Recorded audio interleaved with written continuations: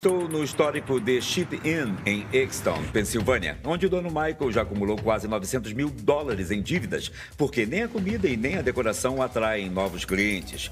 Vamos consertar isso. Primeiro eu vou falar com o Tom e o Lynn para ver o que eles planejam para o lugar. Ei, e aí? Ah! Oi. Gostei. Parece um Nossa. pouco diferente agora. Acabamos de começar desse lado Este também. é um ótimo passo. E o piso? A gente vai manter esse aqui. Ah, boa piada, don't worry. Não, olha só, vai ser fácil. Tá pronto. Tá bom. Ele quer muito sair daqui. Então, a ideia geral aqui, qual é? Então, como o teto é lindo e tá meio perdido agora, vamos usar branco em todas as paredes. Para o tema náutico, temos luzes incríveis que fazem lembrar da época do Titanic. Vamos colocar também um piso cinza claro imitando a madeira no ambiente todo. Vamos usar um tom mais escuro só para termos um detalhe no piso. E os móveis vão ser antigos e modernos. Vamos instalar vigas falsas para abrir o espaço e adicionar um detalhe arquitetônico. Quando acabarmos o novo The Ship Inn, fará com que todos os clientes se sintam passageiros de primeira classe. Nunca fizemos nada assim. Eu amei. E o que vamos fazer com o bar? Eu acho que se a gente deixar aquela prateleira de cima inteira e iluminar o que já tem, vai ficar bem melhor, não Certo? Eu amei. Valeu, Obrigado, Robert. Robert. Enquanto eles trabalham, eu preciso ajudar o Michael a deixar de ser teimoso e veja tudo de maneira diferente. Eu pedi para minha produtora Alison andar pela cidade e gravar a opinião de algumas pessoas sobre o The Chip Inn. É hora do Michael escutar o que os clientes dele têm a dizer. Então, Eu moro por perto há 25 anos. Eu já fui no The Chip Inn umas três vezes. A comida era razoável.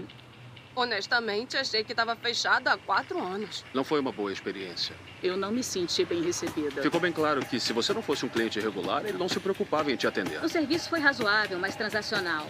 Eu não diria que eles são amigáveis. como se sente?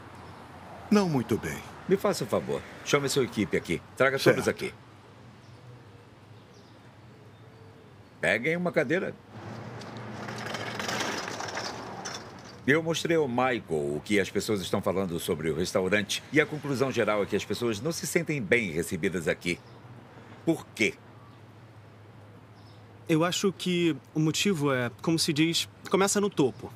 Certo. Não temos consistência. Ok. A gente precisa seguir Eu o posso mesmo falar padrão. uma coisa? Você Espera, precisa não. ir mais devagar. Eu sei, E é. reconhecer primeiro. Sei como os outros se sentem, porque você não É tem isso que ele faz o tempo aqui. todo, faz Mas todo é só mundo uma- calar é, a boca. é- Peraí, é só uma ele pode observação ter a opinião senhor dele. Certo, certo. Ele A gente pode precisa- ter uma opinião. Escuta, A gente Ele precisa. pode ter.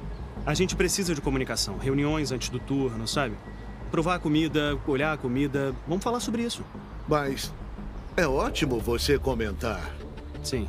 Mas no futuro, olhe no espelho e tenha certeza de que você também está sendo profissional da mesma maneira que você espera deste lugar. Sabe, direitos iguais. Sabe o que está criando agora? Está criando uma animosidade entre eles e você. É. Você não deixa eles falarem. Você precisa escutá-los e deixar que eles tenham uma opinião antes de você pular na garganta deles e enfiar coisas goela abaixo deles, sabe? Eu queria que você conversasse com o Harry sobre como esse lugar é gerenciado. Eu conversei com ele sobre e isso. aí É, sim, é, Harry, você ia é, o Harry tá- é gerenciado. Como é? É, É, é não isso. muito bem no momento, Certo. mas sabe, eu acho que ele tem dificuldade de aceitar críticas, então. É assim. Não. Não fale nada. Por favor. E se você quer que eles falem, e se você quer fazer o certo, todo mundo fazendo o certo, não tem nada aqui que te impeça. Escute o que eles estão dizendo. Você precisa reavaliar a maneira como você lida com as pessoas. Porque se as pessoas não ficarem confortáveis nesse restaurante, elas não vão voltar. Obrigado, pessoal. Agradeço por terem vindo. Obrigado. Obrigado. Obrigado. Obrigado, chefe. chefe. Obrigado, senhor P.